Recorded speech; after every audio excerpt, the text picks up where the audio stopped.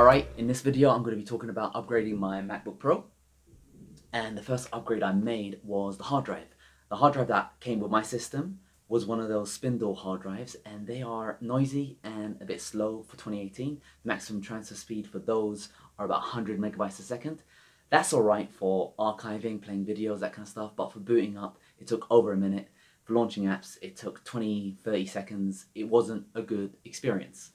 Now, after upgrading my hard drive to an SSD, my boot time was 37 seconds faster. Launching apps was three times faster. So it's very, very, very, very, very, very important, very, very, very important to do if you're getting a Mac Pro. And I'm going to talk to you about the options you can get for your Mac Pro's um, SSD because there's lots of information out there and it's a bit confusing to be honest. So the first and the most expensive option is something called an NVMe drive. So this is something like a Samsung 960 Pro drive. Now these drives, their maximum transfer speeds are like 2000 to 3000 megabytes a second. And you can even get two of them and combine them in something called a RAID, RAID 0, and that will get you iMac Pro level speeds. However, as of time of recording, while the Mac Pro can recognize an NVMe drive, you can't use them as the boot disk. So you can use them as a scratch drive, you can put your apps on there, you can put your video files on there, you can put all this stuff on there, but booting up your system, you can't use an NVMe drive. And I don't know for sure if it will work with Boot Camp Windows. As if someone knows out there, please leave a comment below so other people can benefit from this. At the stage when I was doing my upgrade, NVMe wasn't that compatible. So I passed on that because I wanted to do price and compatibility. Next up is something called a SATA 3 PCIe card. So your Mac Pro's motherboard supports something called SATA 2 by default. So this allows your Mac Pro to transfer around 250 megabytes a second. However, SATA 3 allows you to go 600 megabytes a second. And if you get two of them and do that combination thing, that's over a thousand megabytes a second, you're going there. So there's something called a Velocity Duo and a Velocity Solo PCIe cards, and that allows you to put on those SATA 3 drives. The thing is though, um, with a Velocity Solo, that definitely doesn't support Windows Boot Camp, but you can get Windows to run on a Velocity Duo. And I emailed their support just to get some sort of clarity on how to do it, and it was just way too complicated. It was just too many steps. I didn't want the headache, and I just avoided it. Now, if you don't need to boot into Windows, or you're happy to go through the rigmarole, of all those steps that they recommend, then a SATA 3 card especially the Velocity Duo, would be a good bet because you can use any SATA 3 SSD you can get your hands on. So it'll be cheap.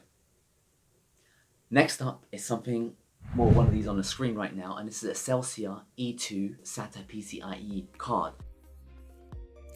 Cool thing about this card is that it does support Boot Camp after installing the software update. You get a quick start guide and a spare PCIe frame. The card itself is pretty small and well sealed. If you turn it to the side, you can get a sneak peek of the SSDs underneath the frame. The card also features two eSATA ports for external hard drives. To install, first lift the case lock, pull the door, unscrew the PCIe screw bracket,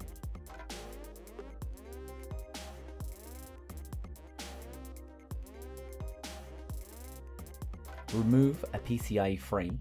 Note that the furthest two slots are slower than the bottom two. But in testing I didn't notice any difference for this SSD drive, it may be different for an NVMe. Next, simply slot in the PCIe card. Now something I want to point out is that it does take up a PCIe slot and PCIe slots in your Mac are precious. It's the only thing allowing you to install a graphics card, a USB 3 card, a 10 gig network card. So just remember that these PCIe SSD cards will be taking up one of these spaces. Alright, rescrew in the bracket. These brackets can be fiddly, but with enough struggle it does work. Turn your machine on and watch the lights flicker. On boot, you'll be greeted with an error message. This is a good thing, it means the Mac recognizes the drive. If you launch Disk Utility, you can verify this. Disk speed tests show that it writes at around 580 megabytes second and reads at 650, which is 6 to 7 times faster than my spindle hard drive, but still a lot slower than drives in modern Macs today, so there's a big question mark there on value for money. Next, you're going to want to get the SSD drive running as your boot drive. This will make your machine a lot faster as your boot drive contains all the system files your Mac needs to operate, not just boot. I used an app called SuperDuper for this. Simply select your current boot drive in the copy section, select the new SSD drive in the to section. By default, it will erase the SSD, copy over the files and make the SSD bootable. Now, depending on how much stuff you have on there will determine how long you have to wait. For me, transferring over around 800 gigabytes took over 7 hours. But once it's done, go into System Preferences, Startup Disk, and select the SSD drive as the boot drive. That's it. You can now repurpose your hard drive for something else. If you want to install Windows via Boot Camp, make sure you also install the Dual Boot Enabler. While doing so, you'll be prompted to allow the software to be installed by Mac Security Policy, so watch out for that too. Overall, this drive does exactly what it says on the tin. However, for the performance, it is a bit overpriced and is using up one of those valuable PCIe slots. So I opted to return this one because it wasn't really that uh, beneficial. Like booting up wasn't faster than my SATA 2 SSD. It did have a much faster read and write maximum transfer speed. However, in normal day-to-day usage, I didn't see any difference. And this is something to think about when upgrading your system because, for example, my SATA 2 card inside my Mac Pro is five times slower than the SSD in my Mac Pro. However, it launches Final Cut Pro and Photoshop a lot faster than MacBook Pro. So it's not all about SSD maximum transfer speeds. For me, it's more about the seek speeds. And with SSDs, you're getting really, really fast seek speeds. What seek speeds is, how fast it is to get to a file. With the spindle drives, they're a bit slow, but with SSDs, you can get them instantaneously, so it's a good bet. So finally, what I decided to opt for was getting a standard SATA 3 SSD drive and just plugging it in to the SATA 2 port of my motherboard. This is a disk speed test of a Crucial SSD.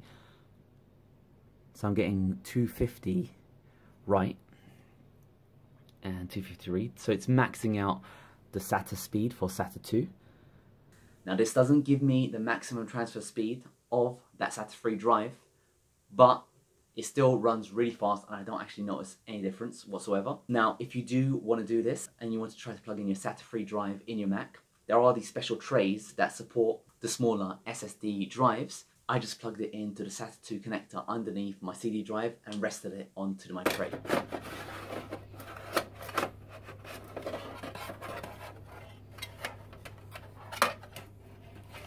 So I've got the SSD there. Got it floating underneath the DVD tray. So if I'm not shaking about my Mac Pro, it seems to live fine over there. You can always use some sticky tape and sellotape it yourself. You do not need those $50 connectors that they sell.